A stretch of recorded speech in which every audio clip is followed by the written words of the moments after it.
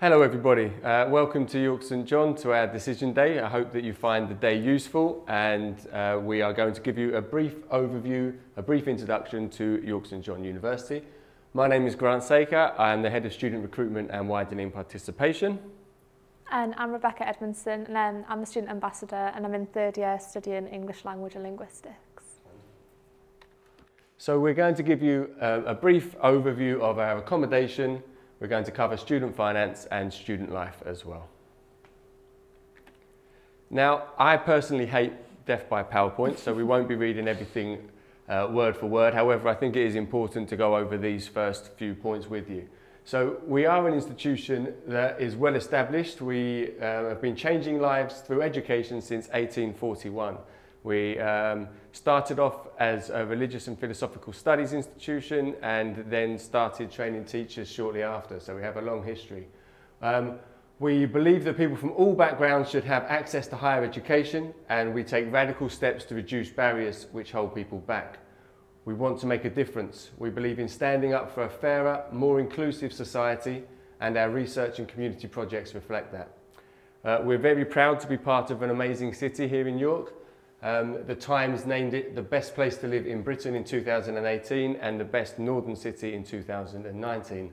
Um, our overall satisfaction score of 86% in the 2019 National Student Survey is one of the best in the region and places us in the top 30 universities in the country.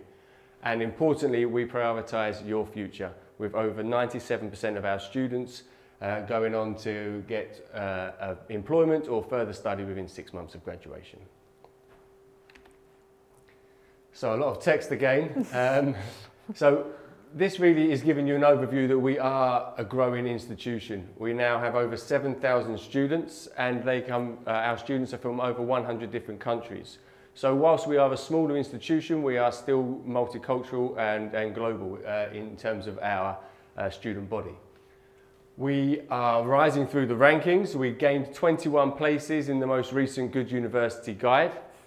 And as it says there, as I've said before, you know, 97% of our graduates have uh, got work or further education within six months. So your potential entirely is our passion. Uh, our student retention is worth noting with 94% of our students in the first year going on into their second year. And that is largely down to the great support that students receive here at York St John and we'll talk a bit more about that in a moment. Another thing to note is our increased focus on research. Our profile really is growing. As it says there, research on supporting gender equality by challenging social stereotypes, uh, shining lights on environmental risks in Africa. Our research has a, has a real world impact and it's something that we're very proud of. So, the personalised university experience this really is covering the fact that everybody's experience will be different and we have a number of different uh, options available to you. So students can go on placement years, uh, they can study abroad. All of our courses have an element of placement in them and the ability to study abroad. Uh, university will challenge you and that's, that's entirely you know, necessary and important, but you will be well supported throughout that challenge. Uh, as a smaller university, we are able to offer a more personalised experience. We feel that our smaller class sizes is something that really does stand us apart. You are a name and not a number. Students get to know their academics very well and that level of support both academically and in terms of maybe the pastoral side of things is, is really important to us. I think like just to add as well there, like it kind of makes the transition a little bit easier from when you're going into like from school and sixth form into university because you kind of it still kind of feels like you have that relationship with the teacher because um, you have got that support with the lecturer. You can go and ask them things, email, and they're always checking in on you. Like, for example, if you miss something um, or if you like miss a few things and like you just kind of haven't really noticed it, like you've doing it and everything like that, then they just drop you an email and just say like, how are things going? Do you need anything? Like, can I do anything for you? Um, so they are really supportive and it's quite good that they have that relationship with you. Absolutely, yeah. and they operate an open door policy, so they really yeah. are approachable, our academics. Yeah. Um, as it says there, we are 12th in the UK for the quality of our academic support. It is something we are very proud of, and our career service is, is, uh, is very prominent um, to all students, and they go uh, they really make an effort to make sure that students are well prepared for the next step. Yeah. I think like especially in third year now, um, I've been kind of seeing the career service a lot more um, throughout university now. So they kind of do little workshops each week and they'll have things like, I think they had one last week or like the week before and it was something about, um, John Lewis came in and we just kind of gave something about how to um, dress for an interview and they kind of gave like style tips and things like that. Um, so that's quite little helpful things like that that they kind of offer throughout the year. It's always quite useful to go to anyway. So Great. yeah. Wonderful. The YSJ feeling, indeed. So, um, as it says there, we do put your welfare first. Um, we want you to make an informed choice without putting pressure on you throughout the application process. Uh, that is really important to us, very important to me as well on a personal level. Um, as a former careers advisor, uh, I think it's, it's vital that you all make the best decision for you. You need to get the support and the advice of your family, of your friends, of your careers team, your teachers, but you also need to take responsibility for that. And uh, you need to make that informed choice and do as much research as you can do. When you go to university, you're going to be living somewhere for three years. So think of it as not just the degree, but how do I feel about that place? And we hope that you'll agree that being at York St John, it, it does Yeah. add to that, that feeling of, of, of community. Definitely, and I think even in like days like decision days, like here, um, when you're kind of like looking around today and stuff, like kind of, I always used to go off like when I was walking around and visiting unis, like to have that feeling. And I think like when I came and visited York St John, like that's kind of what I like kind of assured that my choice was going to be here because I kind of got that like gut feeling um, and everything like that. So I think definitely just like rely on things like that as well when you're looking around and kind of take it all in and do just be a little bit aware of like kind of weigh things up in your head um, and don't just like go where your friends go or anything like that. Just do what's best for you. Because you'll make new ones. Yeah, exactly, because you will, yeah. Um, as it says there, all of our first years are guaranteed a place within our accommodation, uh, providing they meet the deadlines. That's very important to us. That's one less thing for people to have to, to worry about. Uh, York is a great place to be a student, would you agree? Yeah, definitely. yeah, you've got everything, kind of like little cafes, little bars, you've got like shops and everything like that. There's always so much for everyone. And you've got like the tourist attractions like the Minster. Um, the places like that offer like discounts and like deals for students as well, so you can really like engage with the city that you're living in. So yeah, Um, and important for parents and carers there, it, York is one of the safest places in the country to study. Yeah. You mentioned the Minster. The Minster is an amazing building. If you haven't been yet, then we encourage Mm-hmm. Yeah. you to go and visit it. And graduating there is an amazing thing yeah, to do. definitely, yeah. Cool. So a little bit on our accommodation sites. As you can see, we've got multiple accommodation sites. They vary in terms of how do we word it? They're, they're luxury. They're all very nice and they're all perfectly adequate for what you will need, but the, they will vary in terms of price and in terms of the size of your room, etc. Whereabouts did you stay? Um, so I was in Baldwin House, which is like in the Grange, um, and I think like one of the things I point out when I was looking for like universities and like accommodation, I had my heart kind of set on an ensuite, and I think everyone kind of does. Like when you're moving away from home and you kind of want that little bit of privacy, like you want your ensuite and everything, especially when you're living with people you don't know. Um, but then I kind of had, Um, I just kind of wasn't really that fussed in terms of like pricing and stuff. It is cheaper to get a shared bathroom. Mm. Um, so I kind of weighed that up as well in terms of what would like be best for me. So I put down for the Baldwin House in the Grange, which was shared bathroom, um, and I actually had no issues with it. I found it like perfectly fine. Um, in terms of that side of it, you had your sink in your room, so you could just kind of like brush your teeth and everything there, so you weren't having to like clash with people in the shower and you needed to like go to bed or things. Um, so it just kind of works out, and people have like different routines in terms of like showering and things, and like you've obviously got uni at different times, people are being sports and society, so you all kind of like have different routines and stuff, and there was no clash. But Um, in terms of like the Grange itself, I really like living there because um, it's quite close to the university. I'm not sure if it, I think it's one of the closest ones. Yeah. Um, it's, I think it's like under, I used to do it in under 10 minutes. I'd get up and speed walk to lectures from 9am. Um, but so yeah, it's pretty close and it's like quite a nice one because it's lots of different houses in one site.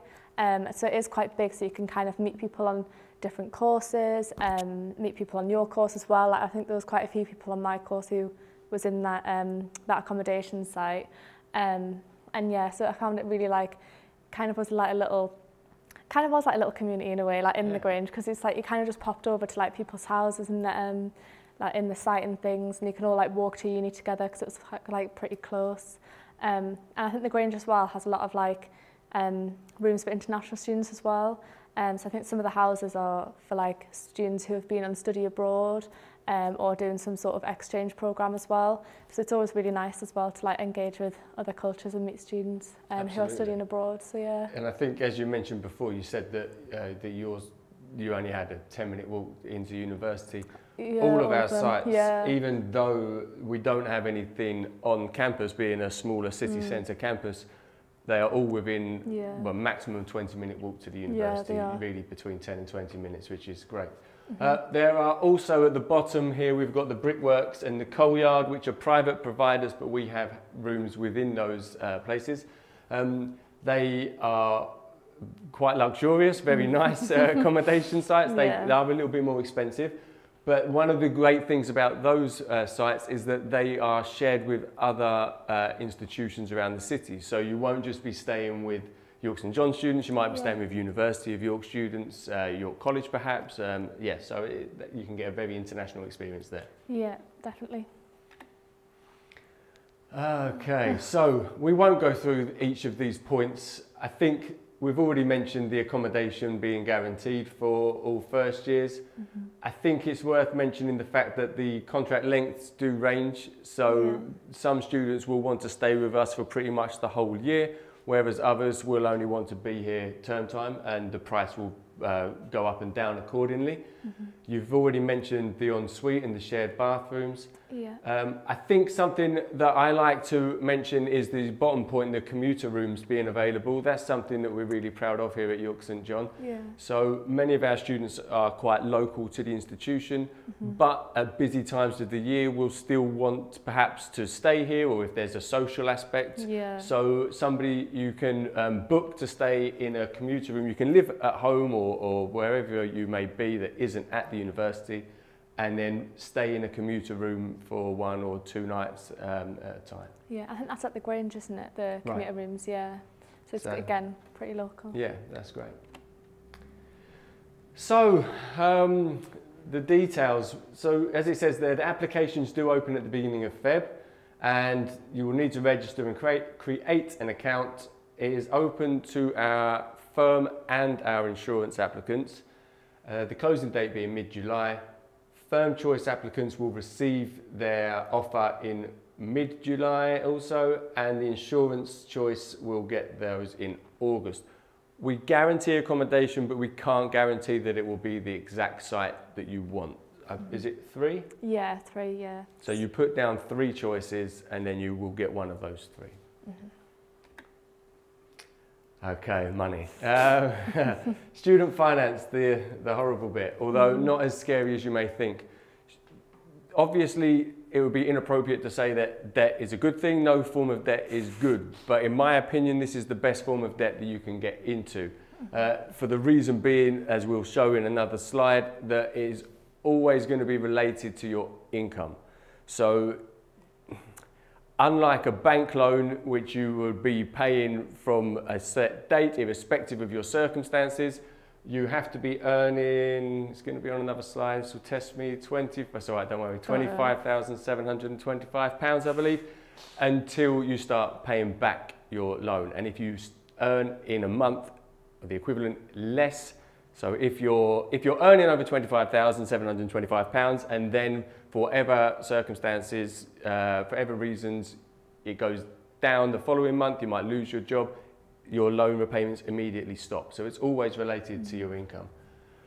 Uh, the accommodation, as we've mentioned, will vary between four to pretty much £8,000 being paid in advance by three instalments. And your living expenses will vary. What were your living expenses like?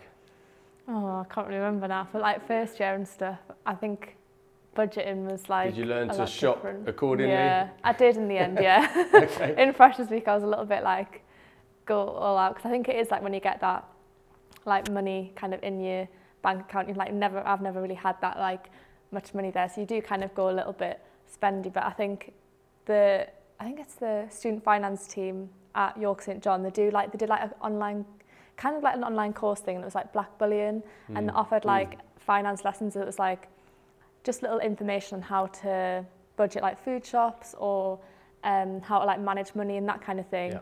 And they were quite helpful. And they did like little quizzes and like you could win little prizes if you filled out surveys and like did little um, information things from them. So that was really helpful. So you mentioned before about the fact that you had like a community feel within your halls of residence. So, yeah. you know, if you can all pull together and make joint meals or yeah. cook in bulk and so on, you can save money that way. Yeah, we used to do like, um, so you get like the Asda deliveries um, or like Morrison's or something like that. Um, we would all kind of like chip in and kind of do our like little shops and stuff of what we wanted together and then get that delivered so it just saved again like having to even though the supermarkets and everything are really close like the accommodation mm. um, it just kind of saved like having to carry the carry all the bags back um, and it just meant you could get a bit more of like a bulk yeah. shopping as well and if you're not afraid of carrying the bags back then you can shop late in the evening and then you'll also you'll often get a lot of discounts yeah, yeah. at that time so that can be a good time to shop yeah. Uh, the amount of money that you spend on your entertainment is clearly going to change student by student and mm. maybe uh, month by month, depending on what's happening. Yeah. But you will learn, if you haven't already done so, how to budget and, and live within your means. Yeah. So, what do you need to know? You don't have to have the money up front. It is going to be £25,725 until you start paying back, which is great. Um, what do is it? What else is it worth mentioning? Um, the maintenance loans, unfortunately, have increased by 2.9%.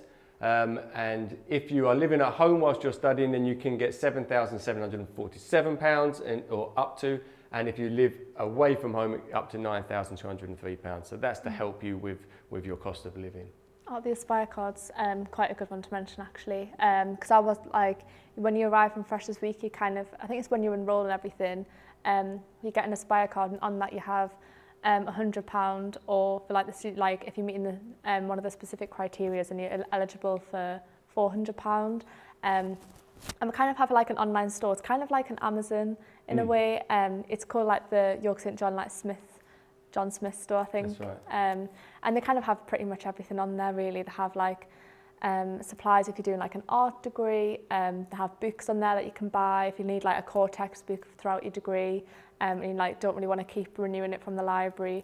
Um, and they have things like AirPods on there. Um, they have laptops on there, so you can kind of like either build up your money throughout the three years because it carries on over, so you don't have to quickly spend it all at once. You can save it up, so when you're in third year, you might need um, a book or something like that. You might need something that might be more beneficial later on in your degree, um, or you can use it. I use some of mine for like Christmas presents, um, and then I use some of it obviously for like when you're doing your academics as well. Academic Christmas presents. Yeah, academic yeah. Christmas presents. Yeah. For your lecturer, um, so you've got a really good relationship with. Yeah. so the next one is going to show. The next slide will show you the table, which is going to give you an idea as to how much you need to be earning before you start paying back your mm -hmm. uh, student loan. So should you graduate and get a job earning £30,000. Well, firstly, congratulations. That's an amazing starting salary. And it will only work out to being £32 per month payment. So it's like a, mobile phone bill. So it, it really is affordable. The more you earn, the more you pay. And as I said before, if you fall below that 25,725 bracket, you don't pay any back. So whilst it's not nice to think that you've got money uh, debt hanging over your head, it will always be relative to what you earn. Yeah. And if you don't pay it back within 30 years, it will disappear. Mm. So, as I say, no debt is good debt, but it's the best form of debt. Yeah. I just would say, like, don't let it put you off in yeah. any way. It's Absolutely. Just, yeah. Okay, so the fun bit, uh, student life. Mm. It's been 20 years since I was a student, so I suppose this is more for you. More, yeah. um, so, yeah, basically, I think when you come into a student, it might seem a little bit intimidating and everything at the start, but I think my advice would be is just to like engage as much as you can with anything um, and just kind of like say yes to any opportunity that you might get given. Um, you don't have to necessarily stick it out. You can kind of see what you enjoy and see what works best for you um, kind of as you go throughout uni. But I think just saying yes and trying to like get involved in as much as you can where it doesn't become too overwhelming um, is always kind of like the best way to kind of enjoy student life. Um, for example, I did, I did badminton in first year, um, joined the badminton sports club, and then I did tennis in second year, and I went back to ba back to badminton again um, in third year. So I've kind of like engaged with the sports clubs, um, and there's like a massive range of them, um, kind of for everyone really. I think we have everything from like volleyball and like boxing, rugby, football, and like swimming. Ultimate frisbee. Ultimate frisbee, yeah, um, dance, everything like that. So you've kind of got quite a good range. Um, and the same with societies as well. So with my course being English language and linguistics, um, there's like a linguistic society. So I joined that in first year and it's just, it actually worked out quite good because you have students, it's kind of run by students in higher years so they can help you and like advise you with modules and what to take and help you with assessments and stuff. Um, so it was really helpful. So I definitely recommend if you do have a core society to kind of engage with that because it is just a little like a little bit of a helpful way to kind of make the most out of your course as well and like build those relationships. Yeah, and it gives a variety to your student experience, doesn't Yeah. it, rather than it just being the academic. Yeah, and it's like again we'll have um, other societies that are like hobby related. Um, we have arts and crafts. Yeah. Um, I think we have like the vegan society as well now. Mm-hmm. um, and so you have quite a like it just has so many range, and you can get together and start a society with like how many people is Five it? other, I believe. I think it is Yeah. five. Yeah, With, like five people, um, and go to the SU and kind of have an idea for a society and like discuss it and, with them. So it is you kind of have got a bit of freedom and you've got quite a lot of choice to get involved. Um, and as well, there's quite a lot of opportunities that come up. So um, in my course, there was like the opportunity for the it was the British Association of Applied Linguistics conference to be held at York St John, um, and they kind of put out about like volunteering um, for that. So I just kind of like put my name down for everything and was like wanting to get involved in that. And it's just kind of like something as well to put on your CV. You're not just doing university, you're getting other stuff out of your degree, um, and you're kind of like building on skills and stuff, and again like meeting new people and like building contacts and things, which is always quite useful to do throughout your time at uni. Um, and as well, there's quite a lot of like events and stuff that you can get involved in. So especially when you're on some sort of society or um, sports club, we'll have like societies dinners, um, sports dinner. So it's kind of like at the end of the year, you all get together. Um, it's usually held at the race course. You go and have like a really nice meal um, and everything like that. So it's quite a nice way of celebrating the year. Um, courses put on little like end of year balls as well, um, or like Christmas meals and things. Um, so there is quite a lot to get involved in. Um, and we'll have events that are held by societies for everyone at the uni. So at Halloween we had like the Hallow Ball, um, the Snowball. Um, so it's just kind of like different, it's like quite a nice way to like raise money for a charity um, local in York, but it's also quite a way to like, nice way to get dressed up and kind of have a nice night with either your flatmates, your course mates or like your group of friends and everything like that. So it is always something to get involved in. Um, and it just kind of like makes your little experience feel quite, I don't know, quite special. Yeah, I agree. Yeah. I, I, you know, obviously we want you to come away with a degree and we want you Yeah. to go through the, the academic Yeah. rigors and, and really challenge yourself. But it's important that you enjoy the time that you're here. You Mm-hmm. Know, we, I mentioned before that you're going to be at university for a minimum of three years. Mm-hmm. And we want it to be more than just the academic experience. We want it to be a rounded experience. The sports teams, you, I think you touched on it. You can join as an absolute novice. If you've never done it before, Yeah. don't be intimidated. You can start something from scratch. Or if you're a very competitive, maybe elite sports person, then there'll be a first team available for Yeah, you. And you is, can compete yeah. in the BUCS League on a Wednesday at a very good standard. So there is something for. Yeah. everyone, isn't there? Societies as well. We've, as you've mentioned, there are the ones that are related to your course or related to maybe um, religions. But there are also ones that are quite obscure. We used to have uh, the society here that I like to talk about, um, which I find quite uh, or found quite amusing when we had it. It was the Queuing Society, which is as tragic as it sounds. Um, students felt that there was nothing more fun than to start a queue in the middle of the city. Uh, so they would do so. Five or six students would queue up randomly. Tragically, with it being York being such a tourism city, people always think that there's something happening. So they would join the queue out of curiosity. When the queue had got to a, a, a good length, the people at the front would leave and leave a group of people wondering what they were queuing for. So they are weird and wonderful, or can be weird and Yeah. wonderful, or they can be very serious. So it's entirely what is, what is right for you. Yeah. Um, and just to touch on again, I- I know I have mentioned it earlier on in the slides, um, but just kind of like the like community feel that you get at York St John. Um, so I think when I was like looking for unis, I kind of wanted a smaller university, Um, I mm. think some of the ones that had like bigger numbers kind of intimidated me a little bit and I think especially in terms of like academic progress as well.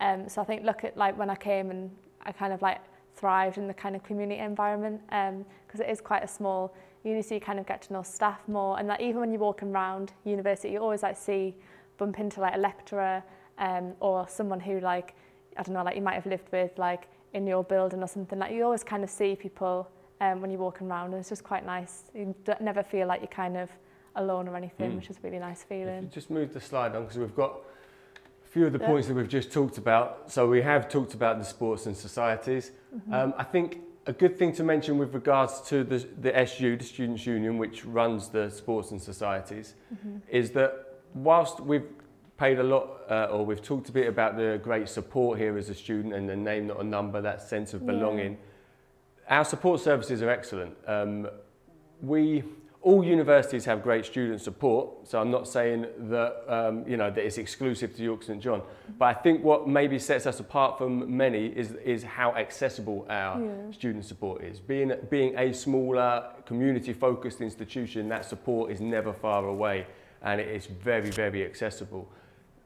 That said, if you feel that you're not getting the support that you need at university, and we, we would hope that you are, but if you feel for any reason that you're not You've, still, you've also got the Students' Union. So the Students' Union are based at the university for all intents and purposes. They are part of the university, but they are an external body. So you've got an extra form of support in the SU as well. So mm-hmm. that's another thing definitely worth noting. You know, you've got your presidents, your chairs, your mm-hmm. liberation officers, all there to represent you and, and to listen to your any concerns that you, that you may have. Yeah. They do a lot of work in terms of safety. There's, um, can you think of the um, latest? There was the, it was like Don't Drink and Drown, um, yep. Respect campaign. Um, so they have got quite, they had another one as well, I think, running. Plan safe, Last, drink plan safe, safe, home drink safe, safe, home safe, yeah. With the taxi yeah. cabs. Um, so I have got quite a few and you can, you can get involved with it as a student as well mm -hmm. and do a bit of campaigning for it. Um, so you can, there's always like things like that going on and they're there yeah. to support you at the end of the day. Yeah, the, the yeah. planning, I forget exactly what it's called. I think it was plan, plan safe, safe drink, drink safe, home safe. Home safe yeah, um. That was one where that's a, a scheme where if a student is out on town, it doesn't have to be that they've had too much no. to drink. It may just be that you're out without any money. Yeah. Um, and you need to get a taxi home, then we, you can just hand your ID over, your student pass over yeah. to, the, to the taxi driver, and he or she will take you back to your halls mm -hmm. um, free, well, free in the first instance, yeah. and then the following day yeah. you will then go and collect your card and, and pay for your taxi fare there. So there are we have schemes to make sure that you are as safe as possible. Yeah. So we've got the fact that you graduate in York Minster. We've talked yeah. about that before. I think it's also worth noting that York St John is a community for you for life. Um. So in terms of our alumni and the students and the support, our careers team is yeah. available to you post York St John. So it may be that you graduate from York St John, you find the job of your dreams immediately, and you're fine for 10, 15 years. Mm. Something then changes, mm -hmm. um, you can still come back and access the same level of support, career support, as you got when you were a student here. And I think that that's yeah. really worth noting. There's a bit there, I believe, that talks about mental health. We are uh, the partner in the building of a, of a brand new mental health hospital, something that we take very seriously, and we're doing lots of great work there and lots of great research. Mm -hmm. So we've, we've got lots yeah. to be proud of here. Um, just to touch on as well, because obviously there's got a lot of shops and like independent cafes and businesses. Um, they all offer student discount, um, and there's always like somewhere to go. If you like nip through uni, you've got Gillygate just um, out of the like Lord Mayor's Walk entrance at uni. Um, so even today, like get like a little lunch or whatever um, in the cafes and stuff there. So they kind of have like student discount and everything. Um, but it's also quite good for like part-time jobs. I know yeah. quite a lot of students worry about when coming to uni in terms of like um, jobs and like funding and everything. Um, but because there's so many of them, they always have like little posters in the window yeah. saying that they're like hiring and we're because a, we're a stone's throw from the city centre so you've got yeah. loads of You've got loads of opportunity, yeah. Um, I think because we are a student city as well, there's always something like when the batch of students leave and then like new students come in first year, it's like the cycle keeps continuing. So there's always jobs um, and there's jobs like within the university as well. So I'm a global guide and I'm a student ambassador um, and there's always different opportunities that you can get involved in with them.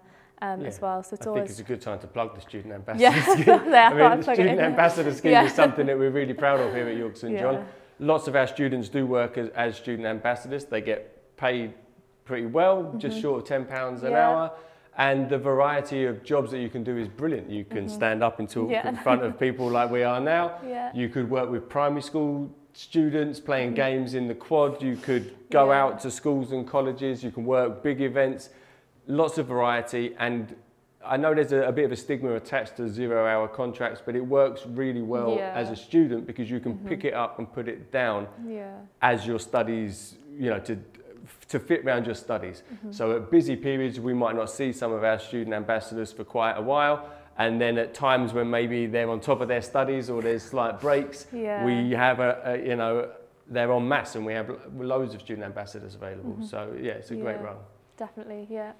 So hopefully we've given you a good overview today and we've given you uh, plenty to think about. It is important that you make an informed decision, so don't just take our word for, for what we've said. Uh, you know, go and talk to other people, look on the website, uh, look through the prospectus. If you have any questions, a couple of helpful email addresses there. We've got admissions at yorksj.ac.uk and student recruitment at yorksj.ac.uk. Um, and yeah, thank you very much for listening. Thank you.